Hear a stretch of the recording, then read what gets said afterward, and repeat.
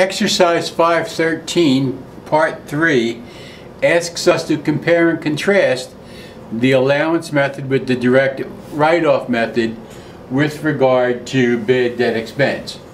Well, in 2018, if we use the allowance method, we would have the 4650 that we computed the 15% of the 3100.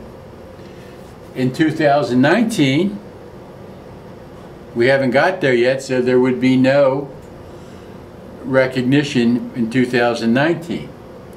Under the direct write-off method, in 2018, we didn't have any write-offs, so that would be a zero, and all of our write-offs, our $8,000, would come in 2019.